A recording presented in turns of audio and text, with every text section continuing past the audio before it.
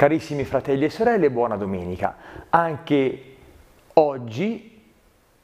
come in questo tempo di Pasqua la scrittura ci propone, abbiamo la duplice esperienza di due apparizioni del Signore dopo la risurrezione. I discepoli che ritornano da Emmaus e gli undici che fanno l'esperienza bella del Cristo che si fa vedere da loro e che condivide con loro anche il pasto.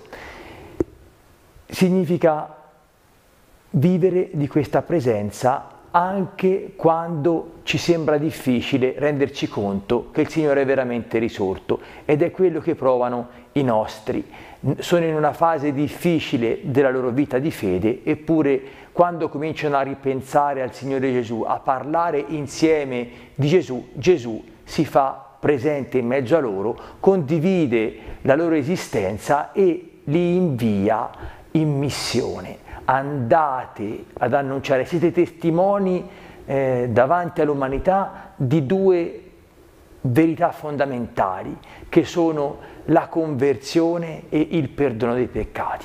Il Signore che ci invita a cambiare strada, cioè a camminare con Lui anziché da soli e a fare questo perché eh, ci perdona, ci ama e gli stiamo veramente a cuore. Sono questi grandi messaggi belli che noi oggi dobbiamo fare nostri e possiamo attraverso essi trovare quella gioia di eh, essere cristiani e di vivere alla presenza di Dio. Questo Vangelo di oggi, infatti, se letto alla luce di quelle che sono le nostre comunità, è un invito importante a riparlare seriamente di Dio. Io ho in mente quei gruppi laddove non c'è una persona che prevalica sulle altre o che non sono il protagonismo di alcuni, ma che sono luoghi dove le persone amano ascoltare la parola o riflettere su che cosa di pastorale è bello fare, è importante. Ci sono tante comunità dove si vive insieme questa ansia di annunciare il Vangelo, questa voglia di parlare con Gesù. Se noi fa- viviamo bene questa esperienza e se noi cerchiamo di, di creare nelle nostre comunità dei luoghi dove si parla di Gesù, tranquilli che il Signore si fa presente, il Signore viene a vivere in mezzo a noi in una maniera percepibile, quasi come quelli che eh, lo videro a condividere con loro il pasto. Certamente da parte nostra occorre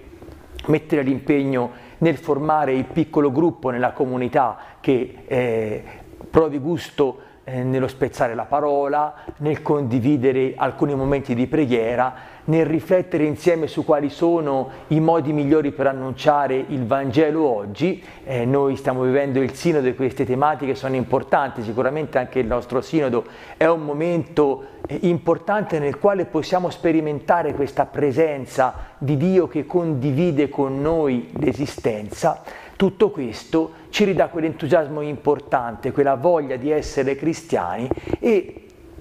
ci investe anche di un compito importante, una missione grande, quella di essere testimoni dell'amore di Dio, il perdono dei peccati e di essere anche delle figure autorevoli, importanti, perché possiamo indicare ai nostri fratelli che è più bello camminare con Gesù. Conversione significa eh, una buona volta decidere di non voler più camminare da soli, di non voler essere più eh, quelli che da soli decidono, fanno e disfanno tutto nella vita, ma vogliamo eh, fare con Gesù e costruire con Lui tutto quello che di bello possiamo vivere in questo mondo. Ecco allora la bellezza della vita cristiana. Il parlare di Lui ci porta la sua presenza, ci porta a percepire la sua vicinanza. La sua vicinanza ci investe di un compito importante. Siate i testimoni della conversione e del perdono dei peccati. Siate testimoni dell'esperienza bella eh, che è il mio amore, l'amore di Dio che si rivolge a noi e ci dice ti voglio bene, ti perdono dei peccati, continua a camminare, ma non camminare da solo, convertiti e cammina insieme a me che ti sostengo nel cammino, do stabilità ai tuoi passi e ti guido verso un orizzonte meraviglioso che è quello della mia presenza nel mondo, della mia vita insieme a voi.